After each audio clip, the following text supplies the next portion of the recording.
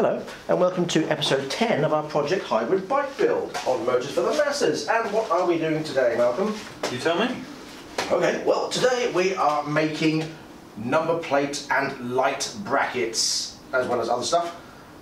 We could have gone onto eBay and spent 20, 30, 40 quid on a bracket for the back, but no, we thought we'd make something bespoke and rather unique. So we've gone and got some metal, and we're going to be making our own bracket for the back for the indicators and lights. We've got a great design that we think you're going to like. We certainly like it. That's so long as we can fit it where we want it. We'll cross that bridge when we come to it. Yeah. Okay, we have to make sure it lines up with the suspension and the engine and the wheel and the tyre and the seat. It'll be fine. Yeah. Yeah. Anyway, we're doing that and we're also going to start to put the bike back together because we have to make sure everything is in the right place before we can manufacture the battery box and then to make sure everything all lines up before it's stripped down again and sent off for powder coating. So, roll the intro.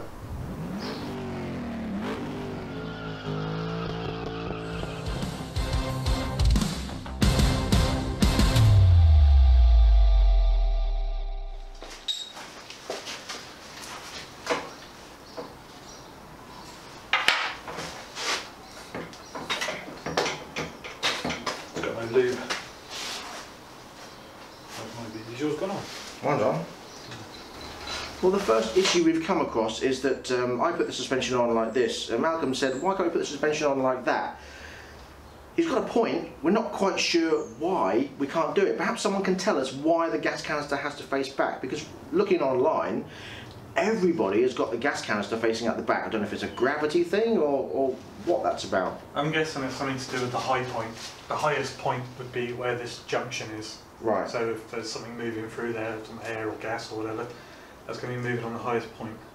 Okay. But the difference is so little, I can't see it being an issue. But No, well, what we're going to do now, we're going to show you this type of design we're going to hopefully achieve. Achieve, yes, Yeah. exactly that, yes. Uh, uh, Can you please stop making noises? Are you pushing that thing or what?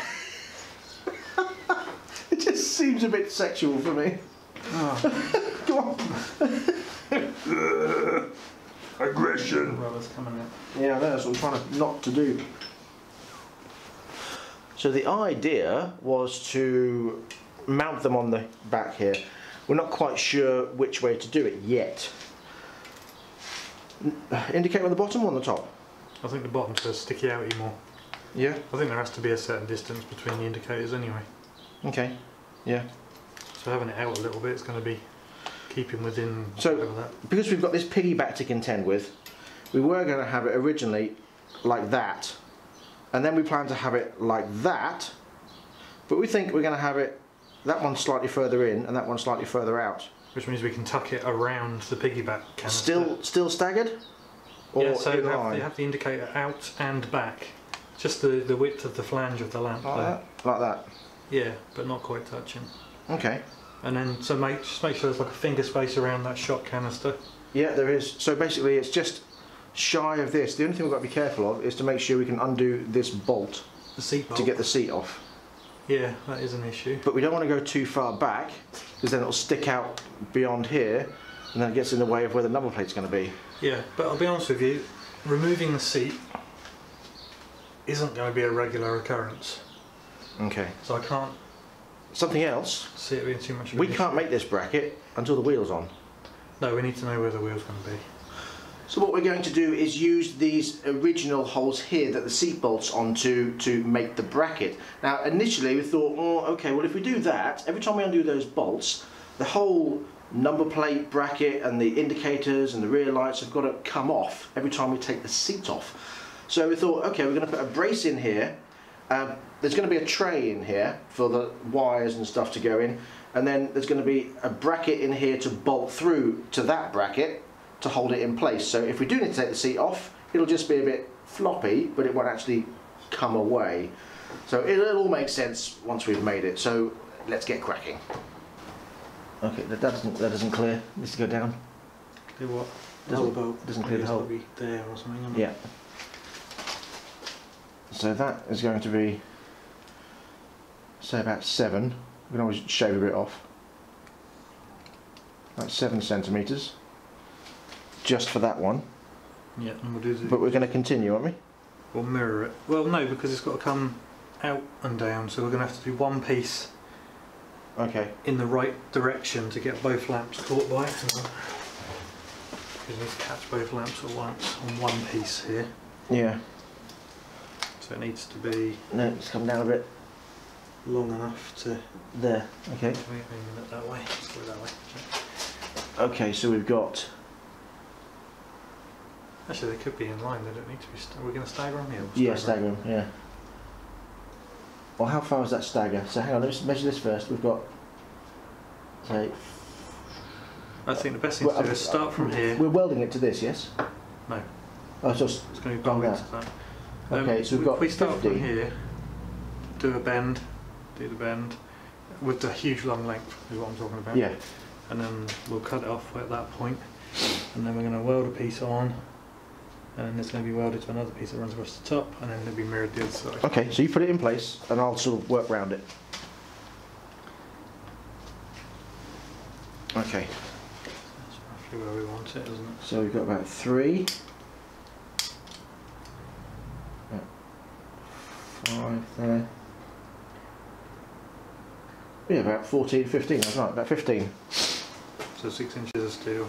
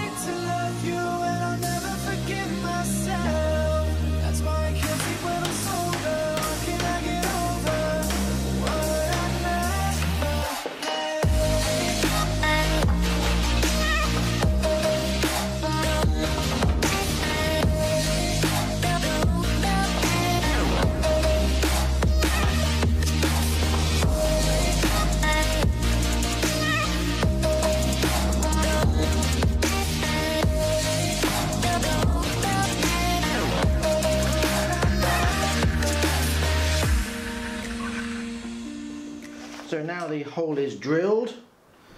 Make sure it fits, and then we can put this in place to line up ready for the next one.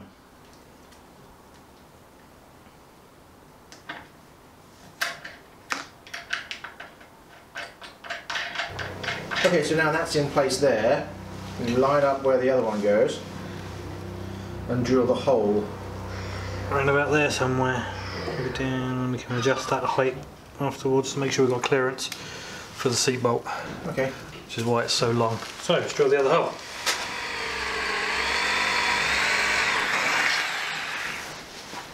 So there you have it. Roughly in position. Slightly staggered, staggered backwards as well. I think that's going to look pretty damn smart once we're all done and dusted. So we've now got to put the additional piece in the back there, which will bolt on there, and then a brace across, which will also bolt up into the the uh, Tray. wheel arch frame tray thingy, and then mirror it for the other side. In fact, Let's we're have a look from the back. mirror it from the other side right now. So from the back, it'll be slightly staggered, but um, I think that's quite nice. It's very unique. It's different, isn't it? Loving that. Obviously, we're going to round off these edges and smooth it all up, and this will be powder coated as part of the frame. Yeah, we've dressed up nice. Yes. Nice. Yeah, I like that. Cool.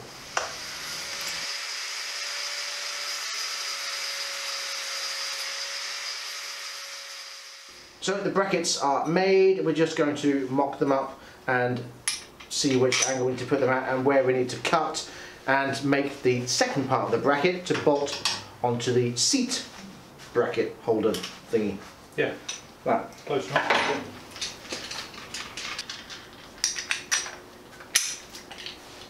Why are the indicators on the bottom, I hear you ask? Well, because they stick out further and they're the most prominent things when you're riding along.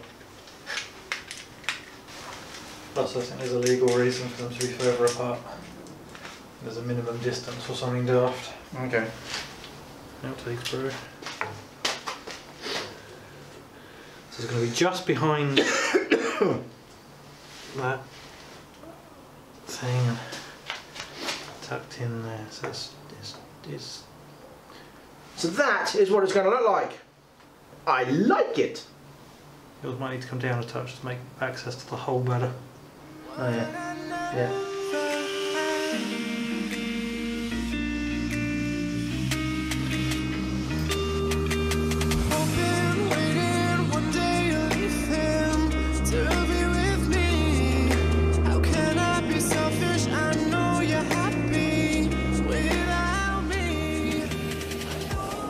Bit which is going to go on here where the bolt seat, uh, seat bolts on even. So the bolt bracket will come down, bolt through, lovely jubbly. There'll be a brace across here to the other one this side and that will be the piece where we can mount it to our under tray. And then on the other side of here will be where our light thingy with the actual bulbs on fixes to.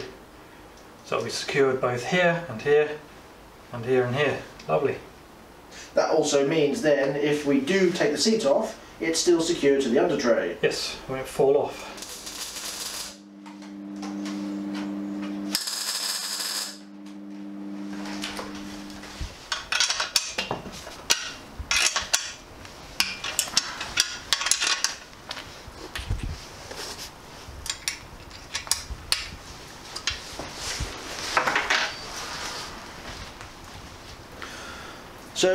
That now bolted and welded into place, like so.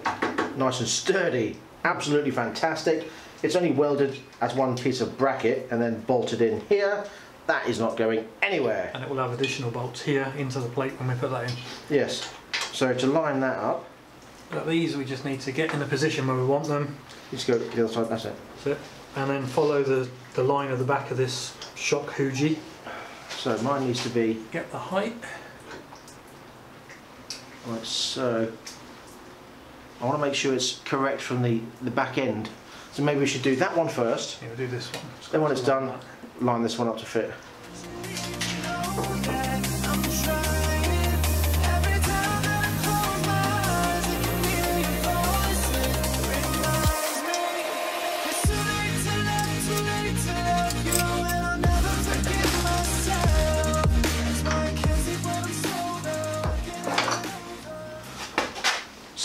There's the bracket all welded up.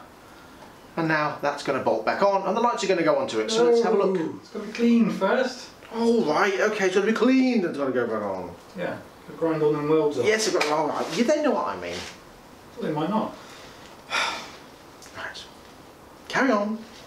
Carry on. So this is what the bracket looks like now. Now we're now going to add another bar across the edge here, across from there to there, and two bars coming down, one there and one there, to mount the number plate on. That's what it looks like with the wheel on. So this will be a lot easier once it's affixed to the under tray. Yes. For now, And we're not having to wrestle with it. so once the under bracket is in and it's bolted to the tray, this bracket won't move, so we can take the seat on and off without worrying about this bracket being in line. We've actually raised the suspension, so we've got a little bit of extra clearance now.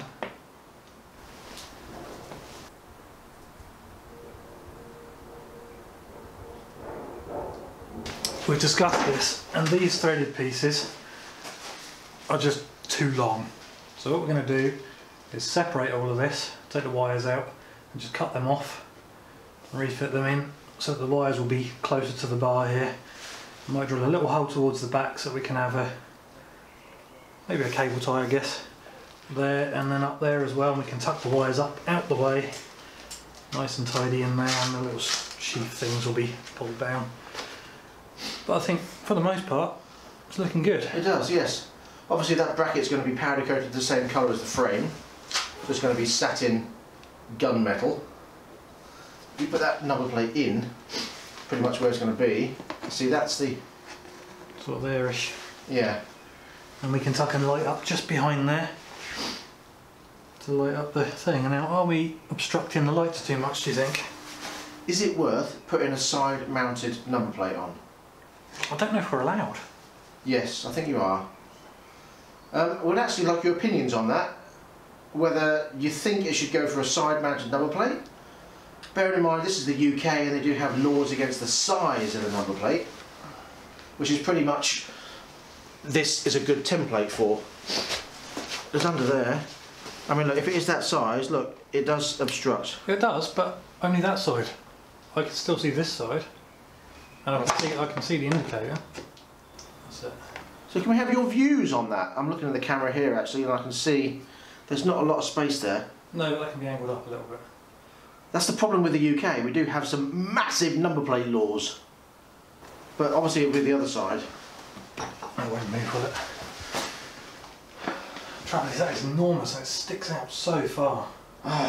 it's like the blasted L plates on the front forks on 125s. They just stick out so much. Well, one of the little bloody micro ones that everyone seems to razz around on. Yeah, that'll do it. oh, that's it. We should have a, a, a backrest or. oh, that's what we want. We want those big, Whatever it is. those um, drag bar things. Yeah, that's it. Yeah, there you go. Yeah, Problem solved. Or wear your number plate on your backpack. yeah. Or just get the number airbrushed into my helmet. Okay, we've just had a couple of ideas. I had the idea of my FB Mondial. Do you remember? Had the two bars came around here and the bracket on the back and the number plate sat on that. With that in place, that would take away any kind of problem of covering up the lights and you can still see the tyre exposed and the number plate is there. I think that would be superb and that's definitely the way I think we're going to go. Definitely, and we'll, we'll make that from just stainless rod. Exactly, and you had an idea. Yeah, so instead of having, excuse me, instead of having these wires and bits of thread sticking in here and looking, let's just face it, crap, um, we're going to take the wires out from the inside of these threaded shaft bits, cut them flush so that it's just a nut with a tiny bit of thread and block it. And then we'll have the wires come out of the casing just on the underside of the lamp on the back here With a small grommet. with a small rubber grommet and we'll run the cable up the back of the bracket and we'll put a piece of metal on the back of the bracket down there to form like an L shape, bit of rib, to hide it. bit of um, support and hide the cable up. Yeah. Yeah, so that'll neaten that up. So, we're going to do some research and um, we're going to find some metal rod to make a bracket around the back. In fact, we can probably use the metal off the old mudguard that was on the front Possibly it might not be big enough. because we're going to have the two bits of metal um, left over, you know, the two over pieces. Yeah, I know what you mean. Um, because we're going to be modifying just the front bracket only to carry a small mudguard, I not a massive one. I know I'm spending your money, but I would rather get two, two new bits, just a bit of nice um, 10 mil stainless rod And bend it. and bend it into the shape we need. Okay. We can still weld to it. We'll get someone to just TIG it with some stainless because that would be nice and it won't rust. Okay. And we can also polish it up and it'll look lovely. Okay. So that's the plan then. Unfortunately, we didn't get everything done that we wanted to do. We hit a couple across the, we came across even a couple of snags, and um, but we overcome them. That's what happens. These bike builds do throw up problems. You expect that, and we expected it, and we had it. So Yeah. whatever, doesn't matter. And we talked about talked about moving the lights out or whatever, but no, they can stay exactly as they are. Yes, so that's the plan. Number plate is going to go here behind the wheel. You'll still see all the wheel exposed and tidy up these wires, change them to come out of here. And there you go. So thank you very much for joining us for this week. We'll be back next week with another bike review. Hmm. And then after that, we'll be back on the bikes and we've got another car review coming up soon as well. So until next time, please ride and drive carefully. Please subscribe if you haven't already. Please like and share. Follow us on Twitter, Instagram, and Facebook. And we'll see you again soon. So until next time, Have fun. Thank you. Goodbye. cheers. Bye bye. All right. Are you happy with that? Yeah. result? Yeah. Oh, oh, God, Fucking hell. getting old.